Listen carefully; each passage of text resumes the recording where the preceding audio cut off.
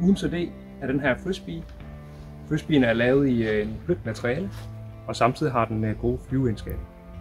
Den er især god til, til de små børn, da det ikke gør ondt at blive ramt i hovedet eller på kroppen. Den er også rigtig god til at tage med på tur, da den ikke fylder så meget, og altså ikke vejer så meget. En rigtig god aktivitet at sætte i gang i på, ude på legepladsen.